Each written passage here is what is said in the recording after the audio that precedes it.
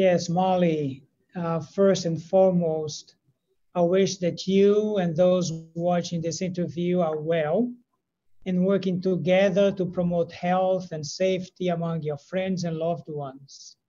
You are right. The liver meeting is the annual event where members and all hepatology providers and investigators present the latest advances in the field. They learn about newest clinical protocols, where they listen to key opinion leaders giving state of the art lectures and hot topics in hepatology. It is also where they meet with colleagues, make new friends, and really establish new collaborations. So the pandemic really fragmented our plan for the meeting as we knew it. But it did not change our resolve to have the annual liver meeting and to maintain our commitment to the hepatology community, right? So we decided that the liver meeting must go on. The reality is that hepatology remains a vibrant field despite the pandemic. Hepatology has new discoveries and ongoing clinical trials that ultimately improve the health of patients with liver disease. Therefore, we made a series of decisions to turn a challenge into a major opportunity for the field to start, we gave clinicians and researchers more time to complete their work and submit abstracts. So we delayed the deadline for submission of abstracts. Then we worked with the scientific program committee to redesign the entire program and put it in a digital platform in a way that also enabled interaction among the participants. So uh, being aware of the socioeconomic impact of the pandemic, we also lowered the registration price so that more can participate in the meeting. So more than ever, we felt we needed to share new knowledge more broadly all over the world. Last but not least, we, did, we took two other steps to make the liver meeting really special. First, we developed new sessions focused on COVID and the liver.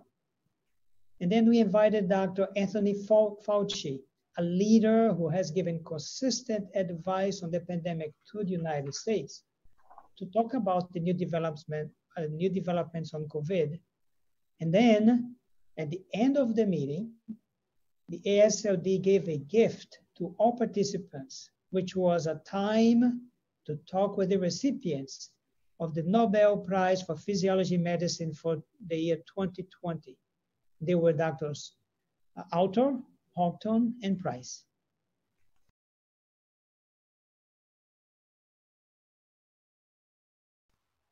Yes, biliary atresia is indeed a disease of uh, severe consequences to the health of all children that have the disease.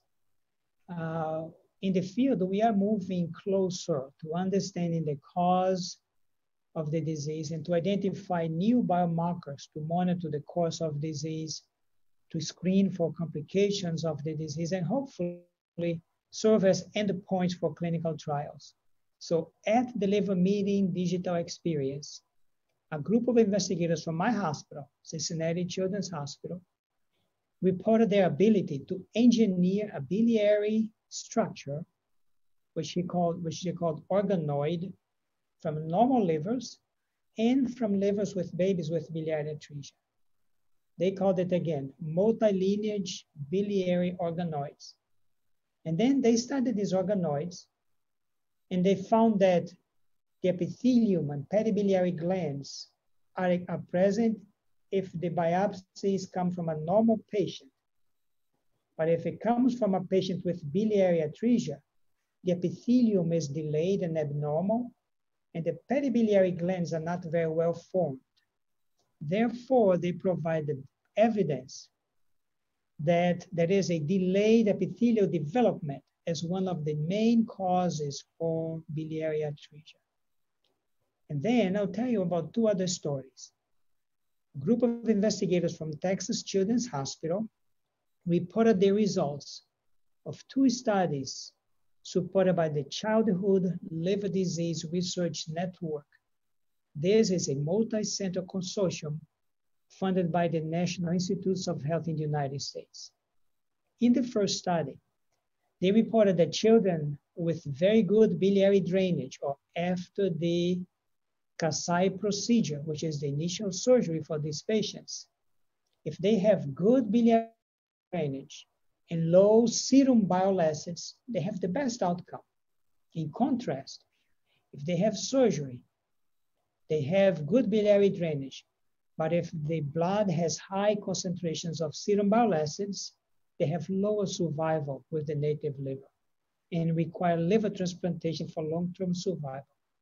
And in the second study, they actually analyzed a group of patients with biliary atresia, Alagille syndrome, and alpha-1 antitrypsin deficiency. These are three important pediatric liver disease. And they correlated the serum biomarkers with the stiffness of the liver, the liver stiff measurement. And they found that if they, they found that in patients with biliary atresia, there was a correlation between the concentration of three biomarkers, MMP7, or matrix metalloproteinase 7, interleukin 8, and endoglin are correlated with high liver stiffness measurement. They also found that for Alagille disease, this correlation is between interleukin 8 and high liver stiffness measurement. And then for alpha-1 antitrypsin, there was high level of connective tissue growth factor and liver stiffness. So these studies show the importance of discoveries of biomarkers for specific diseases and that the biology of portal hypertension and fibrosis is not the same. It's not the same at all for all diseases.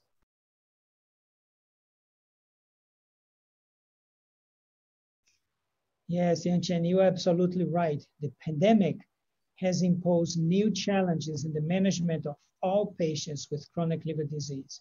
First, there is a real potential for COVID-19 to worsen pre-existing liver disease in a vulnerable population, such as those that have NASH or non-alcoholic steatohepatitis with decompensated cirrhosis and those requiring immunosuppression even when there is no direct effect of the virus in the liver, the virus may injure the endothelium of the, uh, of the blood vessels and of the sinusoids, causing secondary lesion, uh, lesion in the liver with inflammation and decreased bile flow. It's also clear that if the patient has very high liver enzymes and bilirubin, which usually means severe liver disease, they are present in patients with advanced severe COVID-19 disease. Second is that the, the pandemic has also had an indirect effect on patients with liver disease. In areas of high prevalence and high transmission rates, the patients have decreased access to care. Sometimes the patients and family members are a little bit afraid to seek help uh, because they're concerned they may get infected. The good news is that hospitals and clinics are taking extra steps, extra steps to keep the environment safe for patients and the healthcare providers. So whenever possible, we recommend that they should delay care wherever they are, in the United States, in China, in other countries. They may also not seek care because uh, they may have lost health insurance and this really shows how the pandemic has impacted different, uh, different socioeconomic status of the patient. Now remember that patients, for example, with some diseases like cancer, they need to be followed because if they're not seen by the hepatologist, the cancer may progress and they may have more difficult outcome. Last is that the pandemic also impacted the patients with chronic or acute liver failure that need liver transplantation. So even when the organ is available, the transplant surgeon and the hepatologist have to make a decision about transplanting or not based on the ability or availability of ICU beds, medical and surgical beds. So uh, we are glad that the com community continue to be creative and work together to still continue to uh, perform liver transplantations while keeping the patients safe. Thank you.